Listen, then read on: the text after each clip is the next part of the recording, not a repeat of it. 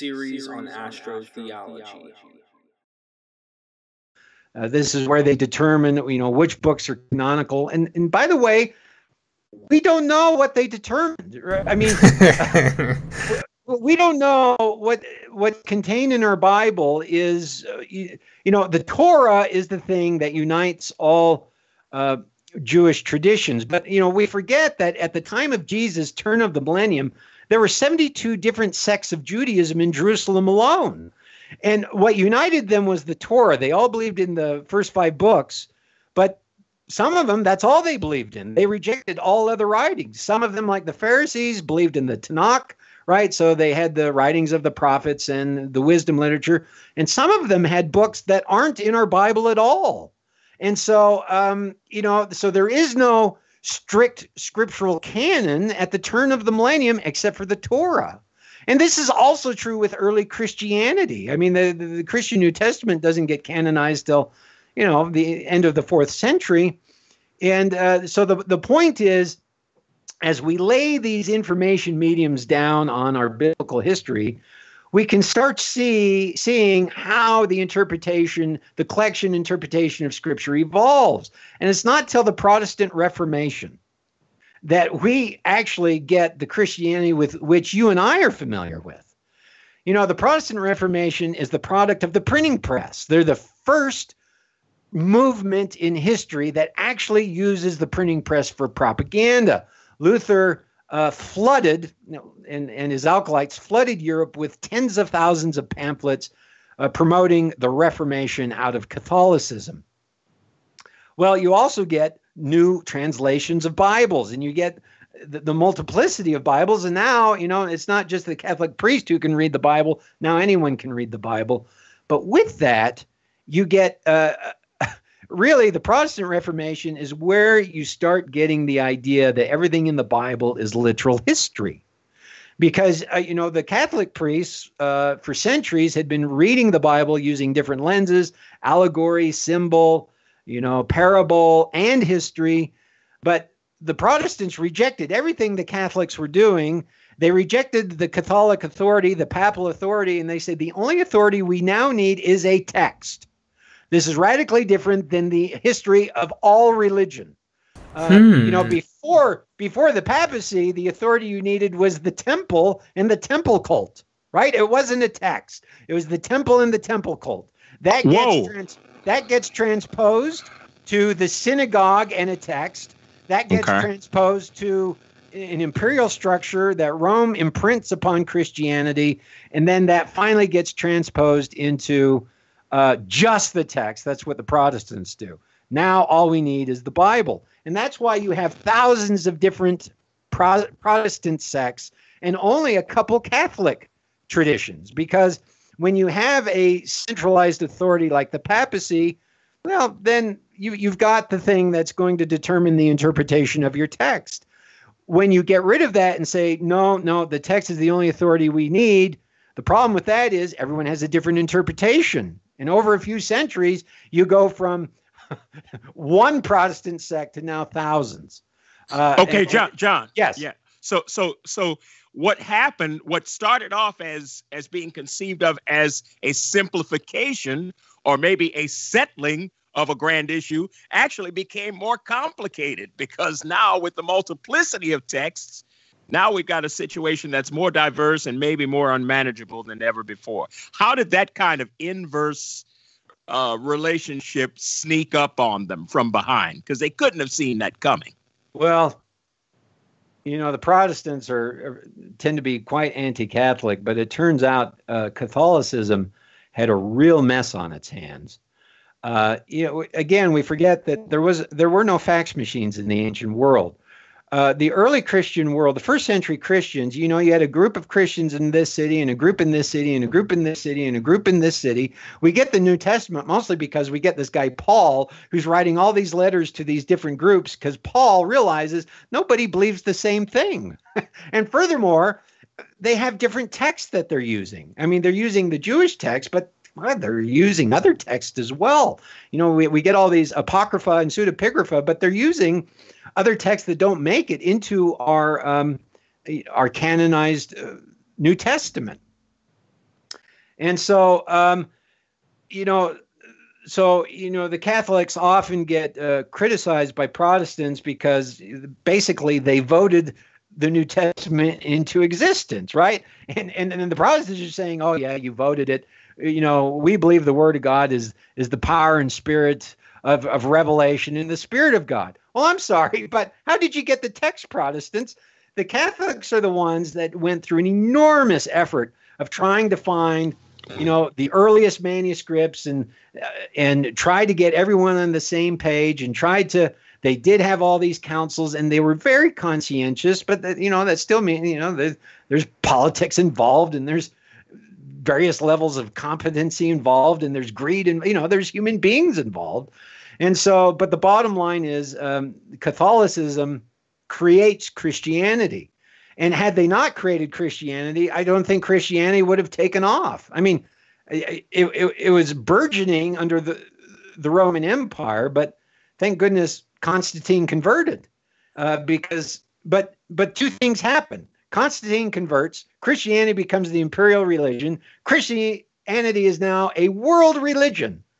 And at the same time, you get you know this correlation occurring through all these councils which means everything on the fringe is getting kicked out and it turns out you might be kicking out the most important stuff okay i mean that's just that's that's mm. there's no way around it so they're they're they're canonizing the text they're standardizing the principles they're standardizing the ecclesiastical structure this actually saves christianity promotes Christianity, makes Christianity a world religion. There's huge upsides. At the same time, you're kicking out anything considered heretical, or you just don't know. You just don't know, so you kick it out. Well, oh, wait, stop. That might be the thing you want, right?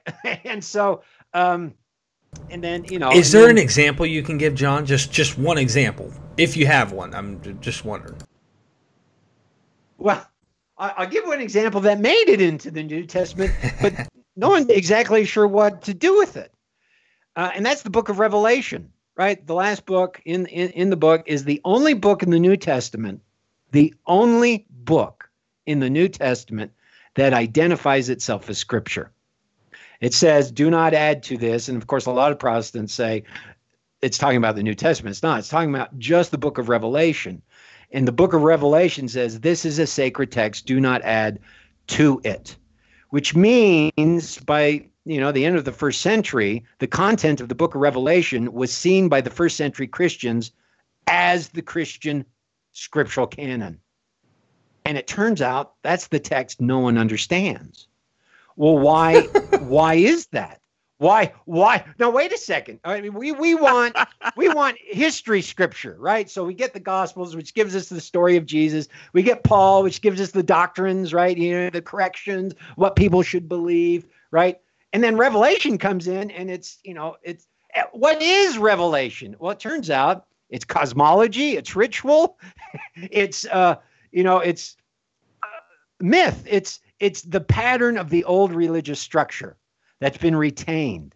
Uh, and so, and so, and what do Christians do with it? They reinterpret it as uh, historical, and so they say, well, this is all about, you know, the coming age where Christ comes again, and so it's a prophecy, the four horsemen, the apocalypse. It's a prophecy of of future time. I would argue, gentlemen, that Revelation is a prophecy of cosmic time. Remember, mm. to oral peoples, the truth is cosmic fact, not historic fact. And what it's teaching is uh, the future time of the soul, right? It's not telling us when the nuclear war is going to happen.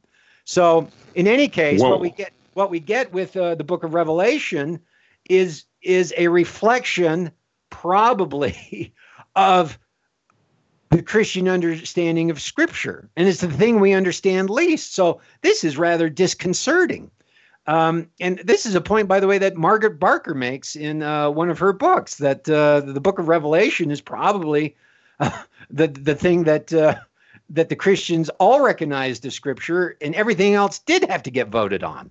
So you know that you know that that's a little disturbing.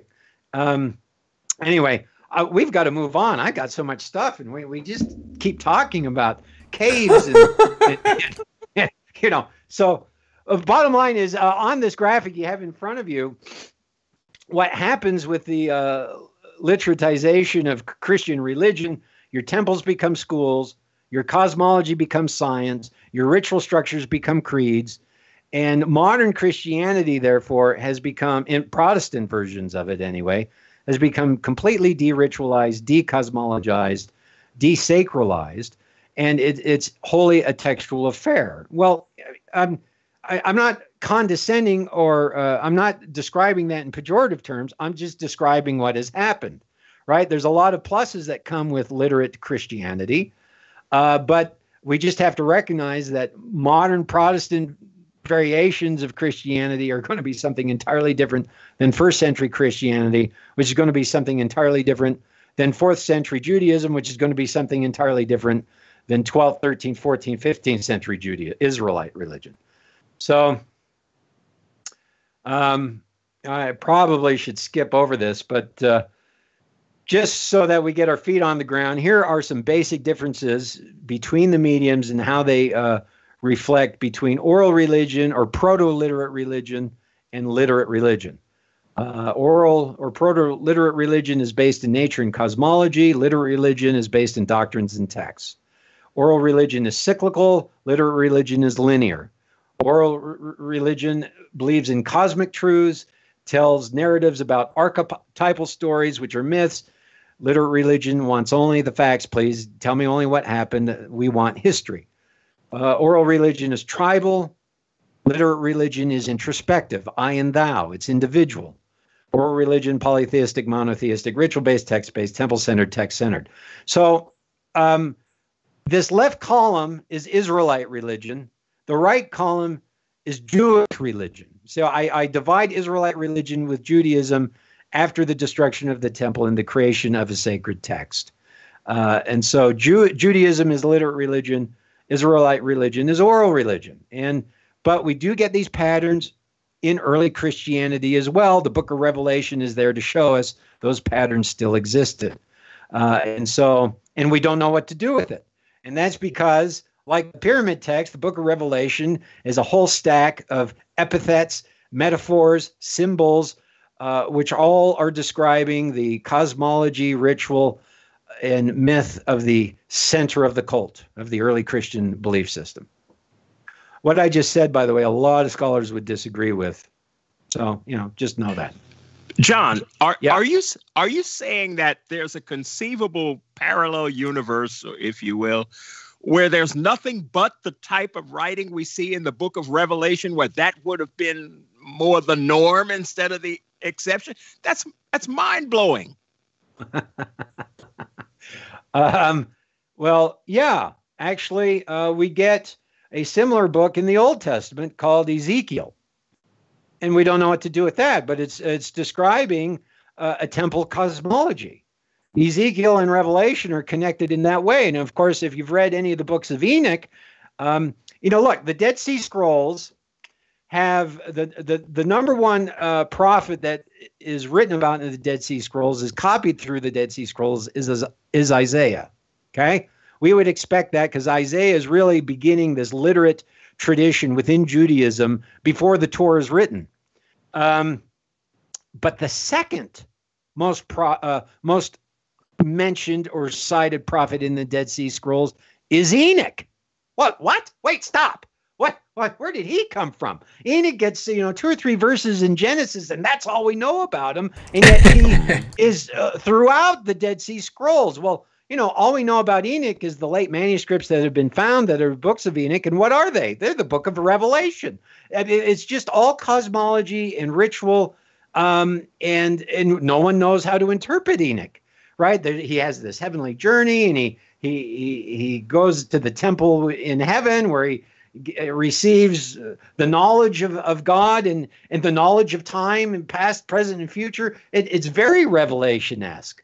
Well, the Essenes appear to be practicing, I mean, their conceptual religion lives in that world. and uh, and we've lost that world because it's it's not the literate cognitive model in which modern Christianity exists, and so we just lost that world. So yes, uh, Luther, to answer your question, um, there was a time when uh, revelation was more the norm than a- anything else, and but that time has passed. So now we've moved on, and um, and so there you have it.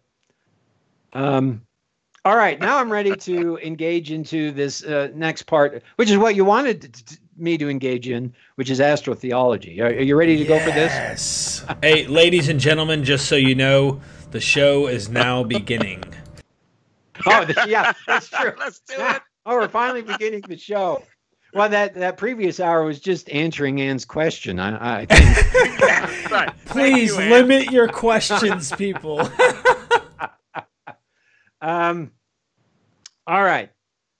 Look, um, this is a very interesting question. You, asked me to speak on astrotheology and is astrotheology in the Bible? Uh, most biblical scholars, I think, would say no. Uh, by the way, Let's just define what astrotheology is. I have here on the top bullet just the dictionary definition theology founded on the observation or knowledge of celestial bodies. And if you look up astrology, uh, astrology in Wikipedia, astrology is astrotheology in polytheistic systems. You read the Hebrew Bible contains repeated references to astrology. Well, it turns out it does. Deuteronomy 4 and 17 contains a stern warning against worshiping the sun, moon, stars, or any of the heavenly host relapse into the worshiping of the host of heaven, the stars, is said to have been the cause of the fall of the kingdom of Judah in Second Kings. Well, so what does that mean? Did the Israelites practice astral theology? Well, the text tells us they did. Uh, so that I mean that settles the issue, right? But uh, I think most uh, uh religious scholars would say that was an aberration. They kept going to the pagan cult systems around them, which was filled with astral theology, which is true. And so, uh, and so, but Israelite religion itself was a rejection of astral theology. I would argue against that. I would argue against that because, as, as we just learned, oral cognitive models require mapping memories onto the stars and planets, as well as to the trees and rivers and rocks uh, by which they maintain their calendar and their cult system, right? And so you right. automatically are synthesizing uh, the heavens with your religious uh, conceptions. I mean, this just happens automatically. If you live in an oral society, and quite frankly, for most of Israelite history, about less than 10 or even 5% of the population could read or write. So this was going on, and, th- and this is why the Bible keeps saying, "Hey, stop worshiping the host of heaven," because the Israelites kept doing it, and they kept doing it because uh, they were hardwired to do it. That's what oral peoples do. Um, so, but now I'm going to give some examples outside of the Bible. Uh, by uh, I, I think this is very instructive here I have two pictures of, you know, the, the left one is this. These are the icons of the religious face of Judaism and Christianity. If you could sum up Judaism in one picture, what would you show? Well, there's a few pictures you might show, but inevitably, Moses with the Ten Commandments, receiving the vision and revelation on Sinai, is the thing you would show. And what does Moses come down from the, the mountain with? He comes down with a text. and so this is this is you know wow it's, it's not only a text it's a text written by god right by the finger of god well this is a huge transition and might i argue you know i said in the last podcast the story of the exodus probably is patterned off of off of a temple ritual right and which means means the original thing that Moses came down with probably wasn't a text. It was a ritual cycle a cosmological cycle. But you know, it's right, a right. religion now, and so we're going to come down with the text.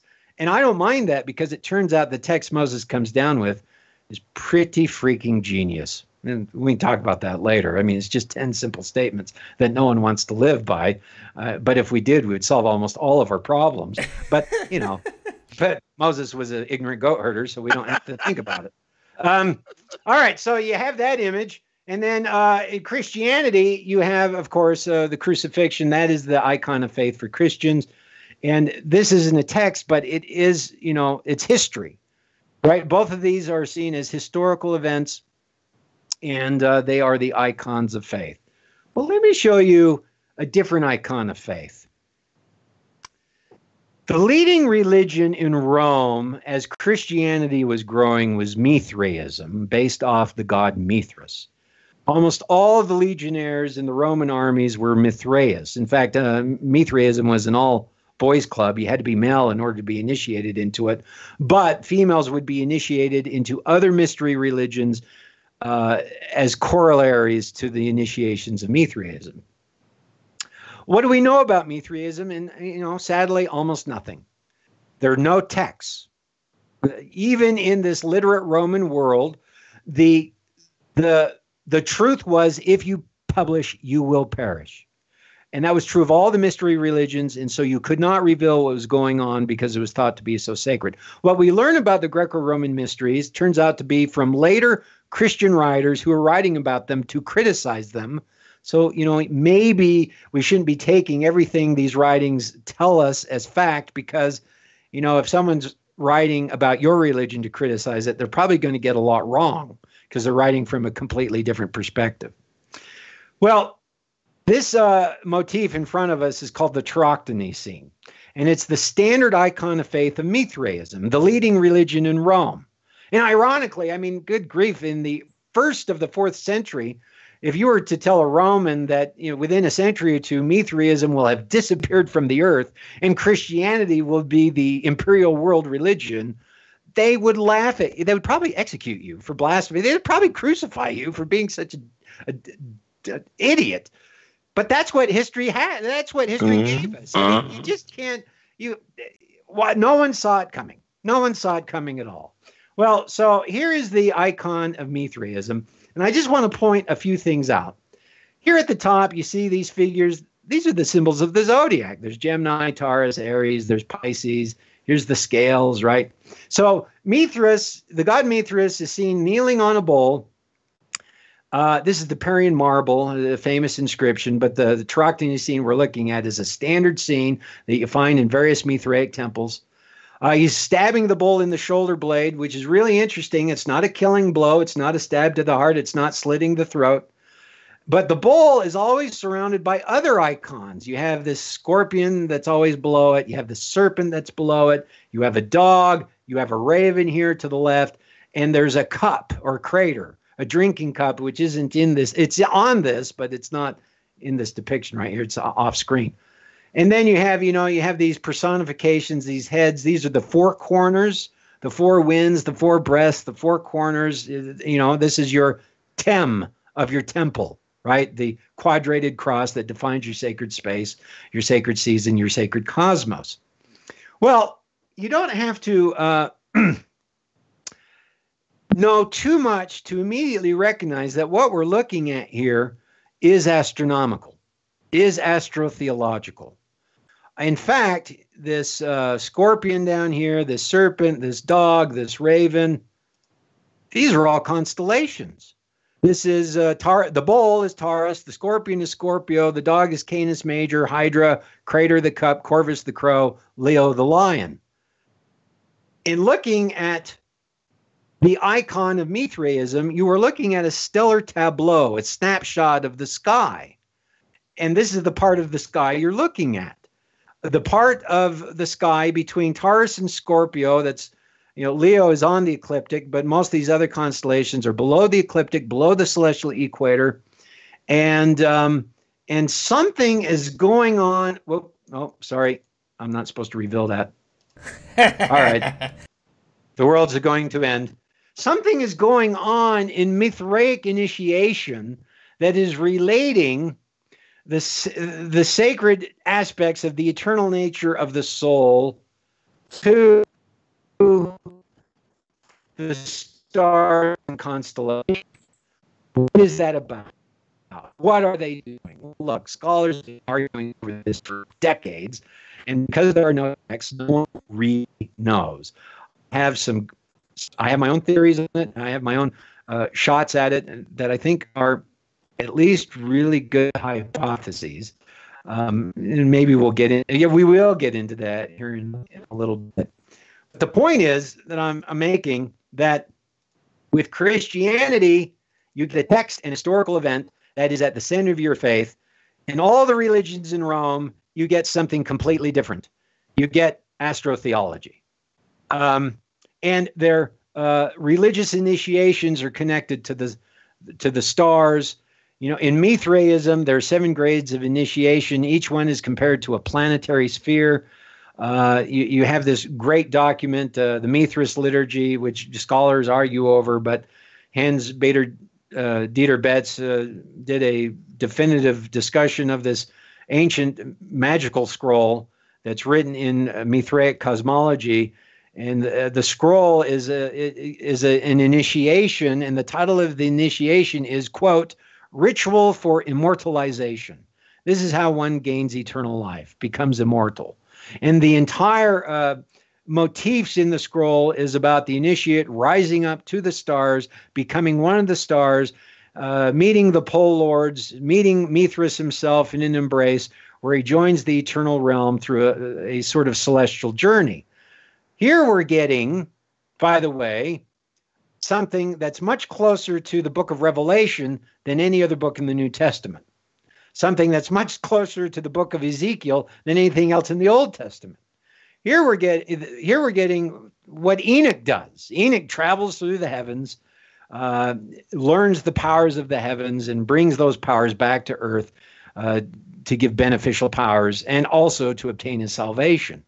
So we do have iterations of this kind of religiosity in the Judeo Christian record, but it's been purged out of the literate tradition. And being that the Judeo Christian religion is a literate tradition, it's, it's now non canonical, it's outside of what we understand or accept.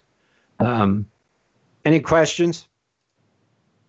I have a I statement. I have a statement. Yeah. I totally disagree that those should have been left out. There's so much to glean. Uh, Luther has, you know, me and him have bounced on Enoch for a while, but he's done a lot of thorough analyzing of Enoch. And there's so much you're bringing up that makes so much sense with all of this being said. I don't want to rabbit trail off of this. Um, I, I, I really, I could see this uh, being factual you know, and making a lot of sense in light of all this stuff. But you have such a satellite angle, is what I love about it, because you're looking at the big picture. You're seeing things like most scholars will like they dig into one field very very well and then it's like what about how that connects to this and that connects to that? You do a really good job. I, I like that. I just wanted to make that statement. And uh, uh, just a heads up we've got about 45 minutes just to let you guys know uh, we're screwed. None of you are going to be saved tonight. Sorry. All going to hell. we, we need to switch in order to be saved. Then. In order to be saved, Derek, you need, I need 50 minutes. well, we can give you 50 minutes. Take it, take it, John. This is so exciting. I don't want to miss a bit. All right. Well, look, Derek, just uh, to respond, I am a big picture guy. Um, and uh, it's true. You know, you, you uh, uh, there is advantages and disadvantages to each. I, I like to see the forest for the trees, but it turns out if you look at the forest long enough, you start losing focus on some of the individual trees, and you need to know those. Whereas if you spend your entire career looking at an individual tree, you don't see the forest. And so I tend towards big picture things, and I'm and I'm I'm, I'm doing conceptual work on information mediums and how oral societies how oral societies pass things down, and it explains so much of the ancient myth and rich, myth and religious systems, which is what I, you know, the point is, and by the way, here's my next graphic, my next page. Yeah, we just looked at the icon of Mithraism, and it turns out to be uh, really a pattern of all ancient religious structures because all ancient religious structures have emerged from that oral imprinting press of temple cosmology, myth, and ritual. And so, you know, no matter what tradition you go, even in the traditions within literate Rome, your mystery, your Greco-Roman mystery religions are still participating in the old uh, sacral cosmological structures because they've been passed down for centuries. Remember, we only get fully literate religion when Judaism gets their temple destroyed, right? They they lose Jerusalem, they get slaughtered. and, and John, and just saying that is a show we must have. I mean, this is me and Luther are big on this temple thing right now. You know, we've been bouncing around just to give you the general idea. We're willing to go wherever the evidence leads. And because we find out about a mythology, we're digging into that, we started questioning if any of this stuff really happened. We're like, okay, it's loaded with mythology. Did it really happen? And so, you know, now we're like, we're like, okay, yes, there's really some concrete to this, but it's mythologized. Mm-hmm. And so it's like, we're bouncing around, brother, and and that's a show we need to do one on the temple, and the fact that the first and the second temple were both destroyed on the same day according to the Jewish calendar. There's something going on here, and you're the guy. I think you're the guy, man. Actually, mm-hmm. Margaret Barker mm-hmm. would be the excellent scholar to talk about that because she tries to re reconstruct the temple tradition out of the biblical text, which is enormously difficult to do um, because it's been purged out of the text. But um, uh, you know, I'd, I'd, be happy to give a presentation about that. And I'll just uh, cite some of the insights of Margaret Barker. And lots of, you know, again, a lot of scholars will disagree with Barker, disagree with me, uh, because they're, you know, they're looking at their literate trees, and I'm I'm stepping back and I'm saying, this is what history has given us, um, and so uh, we can safely uh, assume that early Israelite religion had far more in common with their Mesopotamian and Egyptian neighbors than they do with modern Judeo Christian tradition. Of course, that's true. Wow. And so uh, we, we just have to understand why and what changed and what happened. Well, that's what I'm talking about tonight. Um, in any case, um, I, these are just different Great. pictures of, uh, of, of different traditions. This is an Orphic uh, ritual bowl. This is a Mesopotamian uh, uh, calendar marker, property marker. There's a ziggurat. There's a coffin text, and there's the Greek Sphinx. You know, I, again, um, we we accidentally get a, fra- a Greek fragment of writing uh, from a guy named Heraclides of Pontus. He's a Pythagorean, um, and uh, we don't get his writing. We get a, a, writing of someone writing about his writing. And uh, in this writing, we learn, according to Heraclides, that there are certain stars in the sky or roads in the sky that the soul travels on uh, when it gets born into this material world and when it leaves this material world. And he identifies the constellations where these roads are at. One is near Scorpio, one is near Leo, and one is near Aquarius. Well, if you look at that bottom left figure, that is the uh, depiction of the Greek Sphinx, the the scorpion serpent, which is the tail, the human head, and uh, the leonine body, right? And it turns out the Greek Sphinx was almost always found at tombs. It was the guardian of the soul as it traveled into the next world. Well, if we get if we take this fragment of Heraclides um, then we learn that the Sphinx is sort of the icon of how the soul journeys into the next world. It is a sort of equivalent of the Mithraic uh, It's an icon of astrotheology, and they planted that at the at the gravesite or at the tomb as a symbol that the person who died knew the correct paths in the afterlife also the symbol was a guardian. So if you didn't if you weren't properly initiated or if you didn't know the correct paths the the sphinx and would destroy you. Your soul wouldn't pass be able to pass the correct roads. And so it was a guardian. But the whole point is here we have um, here we here we have a, a, another astrotheological motif that's embedded in ancient cultures, and it, it descends from Egypt and has corollaries in Mesopotamia. Uh, so this goes back a very long time, thousands of years.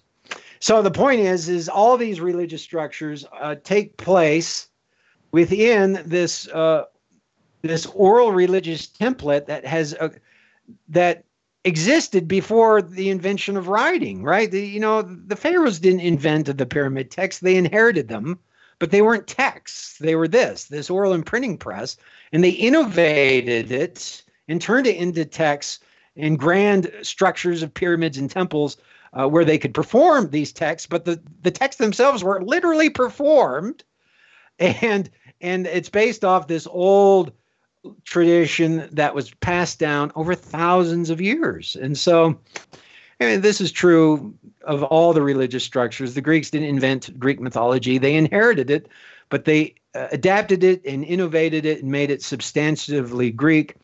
And so, and and so, there you have it. So, you know, that, what that tells us is the Israelites innovated a prior religious form uh, that would have been conceptually in the world we're looking at here but by the time they become literate and lost the temple, it, it turns into something else. John, on that note, because I yeah. know you're going into something else here, um, syncretism. Okay, it seems to me this ties in with. It, it, I I keep getting this picture in my head that astrological motifs in all of this, the way that they framed it in an oral mind, the reason we find the same uh, if you were to talk about a human body, we find the same type of bone structure, okay, in all human bodies, right. Uh, right. is because they're all based off of this same template. It doesn't mean that they're the same story. There's, uh, this is why we see syncretism, if that makes sense. And there's varying degrees of how this might play out in different myths, but would you agree that that's what we're actually seeing here? And is the another question. I hate to hit you with another one, but I kept thinking of the Egyptian Sphinx. And I was thinking, well, what in the world is the Egyptian Sphinx? Because now you got me really. Oh goodness, I'm I'm gonna mess you up. I know I am. I don't mean to. no, hey, if you want to read about the Egyptian Sphinx and myth and cult, uh, read the chapter of Heracles in my book Mythos and Cosmos. It's it's pretty darn genius. saying, saying, so myself. um, Love it. Love um, it. Look, um, uh, I'm. Yes. So this uh, graphic we have. This is the structure of oral religion, and it, and and that structure exists all through the pagan period. Okay, the pre-Western period. Um, and so it's big picture though and what you get is different innovations and adaptations in every different society. And so the Egyptians are going to do something different with what they have inherited. And of course, the Egyptian religion is 3,000 years. And over that 3,000 years, Egyptian religion evolves. And so, you know, the Egyptian religion of the Ptolemaic era is not going to be the same as the Egyptian religion of the first dynasties. Uh, and so, but every culture then adopts this structure because it's the structure that their brains think in. It's their structure that the brains are wired in. But but the content of it, right? The, the the message, this is the medium. The message is going to be slightly different in every culture as they adapt it to localized events and localized uh, concerns. And so um, you know, so we have to be careful in uh, homogenizing all stories and myths into representing the same thing. That's not what I'm doing. What I'm doing is saying they come from the same structure, a cognitive structure of orality. That's the medium. And then the medium changes with the invention of writing, and the medium has another massive change with the invention of the reductive uh, phonetic scripts. And then it changes again with the invention of the printing press. And these changes actually reformat religions entirely, practically. And so, uh, so we can sort of follow the contours of these changes as we look look at how different societies use the that they live in. Um, so I don't know how much time we have left, but now none of us are going to get saved. Uh, um, uh, John, John, take I, it. Take, yeah. take as much time. Take as much time as you need. So, so what happens to the immutable soul? Religion is changing, but presumably there is some substrate of the human being that maybe is constant throughout all of this. So, how are we supposed to grasp this? Uh, in other words, what happens to the nature of the eternal, whatever that is, the immutable and the eternal, in in light of uh, the constant reformation of how we conceptualize it? Well, Luther, that is a hundred thousand dollar question, hundred million dollar question. Actually, there's no price you can put on that question. Um, look, look, the eternal remains, and yes, it's true. Uh, you know, like all the scholars feeling a different part of the elephant over history, we grab different aspects of the eternal and try to synthesize it in different ways. But uh, you know, I think there's an excellent argument to make that human nature doesn't change. The way we access uh, our own nature, that doesn't change. Uh, human interiority, that, you know, our brains get rewired, but um, good and evil yeah. doesn't change. And so, right. um, and so in every culture, you get people struggling with the the great questions. You know, they're actually called the terrible questions. You know, what is the soul? Is there life after death? Who am I?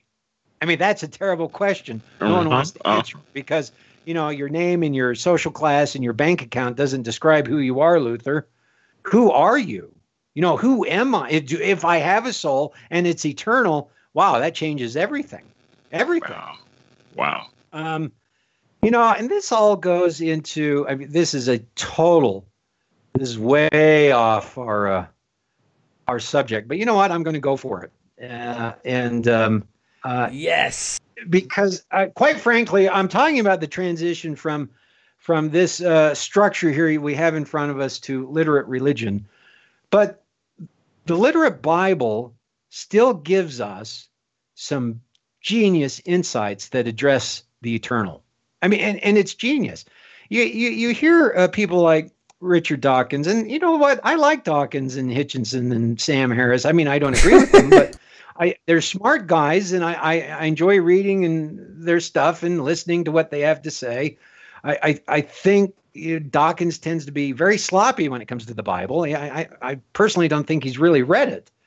Uh, but you know, he, one of his things is the Bible was written by a bunch of goat herders and you know we have so passed beyond that with our you know stock markets and microchips. Well why do we have to pay attention to the bible? I mean that was written for society with goats right? So that's his argument. Boy does he miss the point. That what what are you actually what are you even talking about?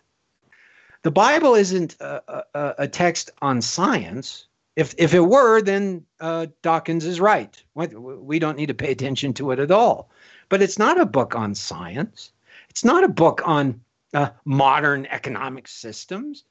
It's a wisdom book. And wisdom is attached to the eternal. That doesn't change. What we learn is wisdom is very hard to get. And it doesn't matter if you're a goat herder or a stockbroker or a uh, astrophysicist or a phd in comparative religions there is no guarantee that any of you have wisdom. And if a goat herder did get wisdom you Preach better it. damn well listen. Because if you jettison the wisdom that he's obtained you do it at your own peril. And it turns out some of these stories in the bible were not created by the Israelites. They were inherited by the Israelites. These stories have been passed wow. down for thousands of years with great effort and great sacrifice and great suffering. And, and they're being retained. Why are they being retained? Because they're the eternal nature of the human condition. And we throw them away at our own peril, and we do throw them away. Let me just give one example again, I'm really off off on a completely different thing, but you asked the question, Luther, so shame on you. Uh, but um, what what is the first story about the first human being in the Bible? In, in the book of Genesis, what is the first story of the first human being? Do, do you know? Well, yes, it's the Garden of Eden story, isn't it? Uh, so that that's what I would think, but it turns out Adam and Eve are not human beings. They're not born from the womb. They're archetypes of human beings, right? Adam's created by clay. Eve is created by a rib. They're not even put on this planet or this earth, right? They're put in a sacral space, a garden, which is something different. It's guarded by cherubim and a flaming sword, right? And so Adam and Eve are the archetypes of humanity, the prototypes of humanity. They're not the first human beings in the Bible. Who are the first human beings in the Bible? Cain Derek, you take that one. Yeah. Cain and Abel. Yeah. All right. So here's what happens. This is what the Bible gives us. The curtain opens. We have this majestic, grand, glorious creation scene where God Himself creates the earth. And then the first story of the first human beings is about murder for gain. And it's not only about murder for gain, it's about filial murder for gain, a brother killing a brother with a rock. what happened? And then the first story after that about the first human civilization. We get the first human beings, the first family, and it's a story about murder. And then we get the next story about the first city state, and it's the story of Noah, right? And blood and horror is drenching the earth. It's so bad. The God who just created this miraculous creation looks down and he can say only one thing go. it's, it's, it is, it is it's right, terrible. Yeah. Right? Well, look, this is this is rather genius. Uh, what we're being shown, this is the first of all the stories to pick about introducing humanity. The writers of the uh, Tanakh or Old Testament pick these ones.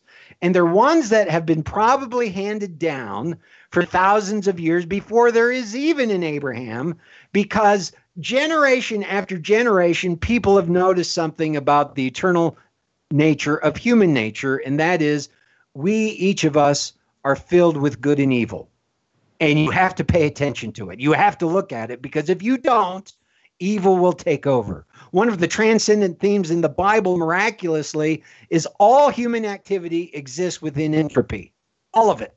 The individual, the society, the government, it doesn't matter. It doesn't matter if you're a goat herder or if you're a, a postmodernist uh, lecturer in a at Harvard or Oxford. It doesn't matter. All your human systems exist within entropy, and you have to look at it, or else evil takes over. And if you don't look at it, sure enough, sooner or later, brother is going to be killing brother.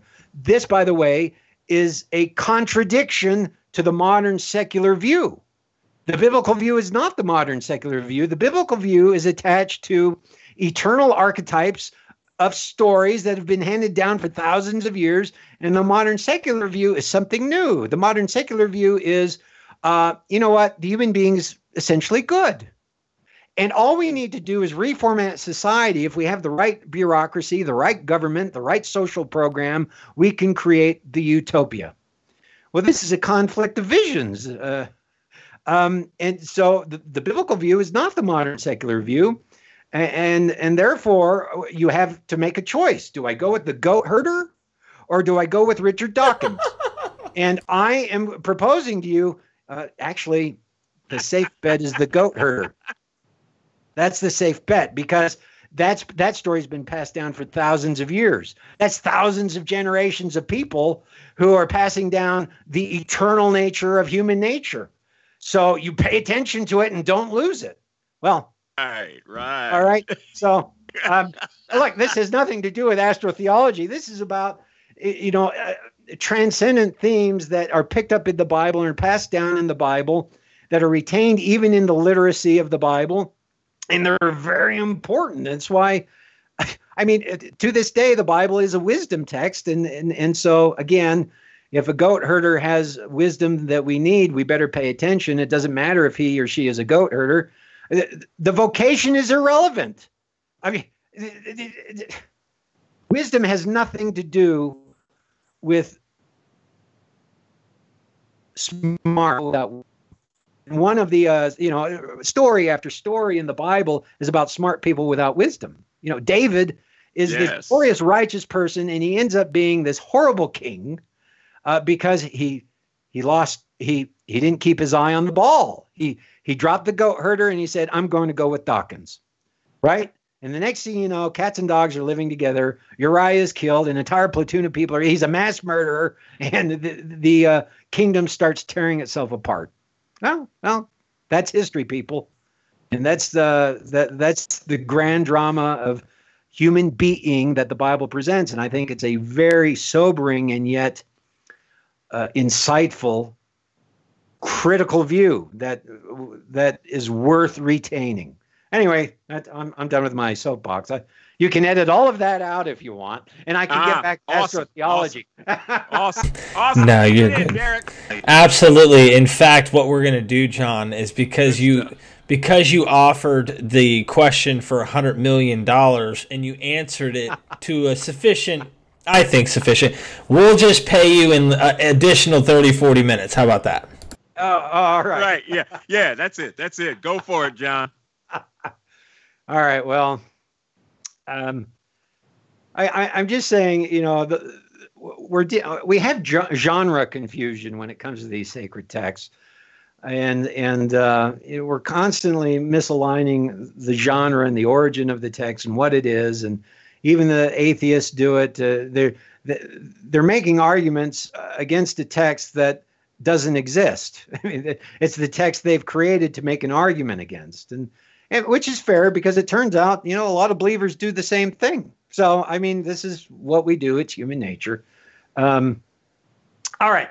So astrotheology uh, we- we've talked about uh, mithraism but it turns out to be a, a system of religious structure. We find astrotheology in egypt. We find it in mesopotamia we find it in mycenae we find it in the greco-roman mystery religions uh, I would argue we certainly find it in early Israelite religion uh, because it's that's what it is, and we probably find it in early Christianity. We do have some major problems, though, guys. I mean, um, the Bible has been purged of all these motifs. So, if you if you were to ask me, show me proof beyond reasonable doubt that astrotheology is in the Bible, I couldn't do it. I I what what we get in the Bible is um, echoes and scraps uh, because it's been reformatted, and and for not only has it been reformatted, but you know we're reading it in an English translation which reformats it. I mean, and it doesn't matter if you have a German or Spanish translation; it's not the original Hebrew. We don't even know what the original Hebrew was. The earliest Hebrew manuscripts we have are the Dead Sea Scrolls and if you you know, and a lot of the Dead Sea Scrolls deal with uh, something that's very different from our conceptual uh, uh, view of religion, and so um, I, the the bottom line is uh, Christianity is the first world religion that begins in full literacy, and it's the first world religion that begins by being managed by tax. Judaism invented that, right? They created that after the destruction of their temple, but Christianity inherits the tradition of the Jews, their literate tradition, and it starts out as a literate tradition. Well, they're still going to have, I, I would argue, they're still going to have secret initiations and cosmological structures. That's still the conceptual world of the turn of the millennium. The book of Revelation is a testament to that. Um, but uh, it's going to be very hard to prove. Well, you asked me to talk about astrotheology in the Bible, and so uh, what I did is I uh, emailed you a couple of papers. that was uh, published in Cosmos and Logos, Journal of Myth, Religion, and Folklore. Uh, on the left is uh, the author John McHugh, How Orion's ability to walk upon the sea was ascribed to Jesus. He wrote an article. I should uh, say uh, John McHugh. He's a very smart guy. He got a his master's in Near Eastern Studies. Uh, he's a trained archaeologist, and he's on my archaeoastronomy team. I met this guy through our academic arguments over these papers, and and he actually lives in Salt Lake City, and so we we met at the library. Uh, he loves going to the library. I love going to the library. We met at the library, and we had our our discussions and arguments. We've become friends, and and so now he's he works with me with uh, southwestern petroglyphs and astronomy. But so he wrote a paper. Uh, and basically, the the thrust of his paper uh, can be summarized in in two precepts. Uh, the gospel there are three gospel accounts about Jesus walking on water and they have radical differences in them. And he believes one the gospel accounts uh, descend from two esoteric systems in the ancient world. The first being that the 48 classical constellations of the Greeks were thought to be historical events. This is true. Many Greeks believed that the constellations were a, a form of history, uh, that things happened in the ancient past and then they were memorialized in the stars. Uh, the other thing is a bit more esoteric. It's called Mesopotamian heaven writing or constellation writing, Lumashi, Lumashti. Um, and basically, uh, Mesopotamian scribes recognized that, I mean, this is where we get astrology in the first place. They recognized that certain stars had archetypal powers over the earth. And why would they think that? Well, quite simply, this is part of the oral imprinting press. You see a certain star rise on the horizon, and when it does, uh, the Nile floods. When it does, this plant grows. When it does, uh, that fruit is ready to be picked. As these stars rise and set through the season, all sorts of changes are happening on the earth. Well, in oral cultures, they analogize that with what's causing these changes on the earth just happens to be the stars. It's that star right there that rises that and at the same time this plant grows, that star must be influencing this plant.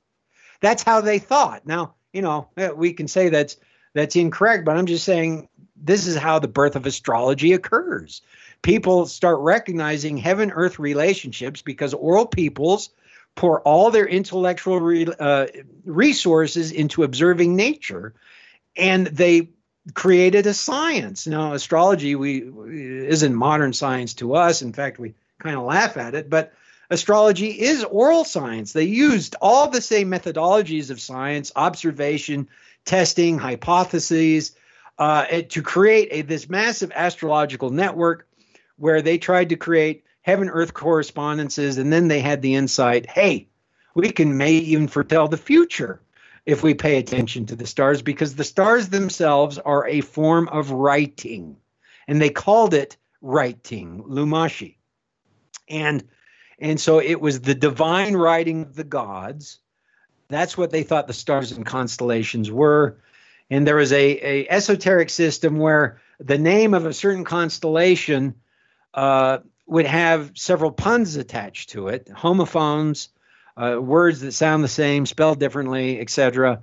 And it's through those puns that you could create uh, associations uh, that might prognosticate what was going to happen in the battle. But for the for the sake of John McHugh's uh, thesis, he asserts that through the punning of Mesopotamian constellation writing, we get all the motifs of the story in the New Testament, Jesus walking on water.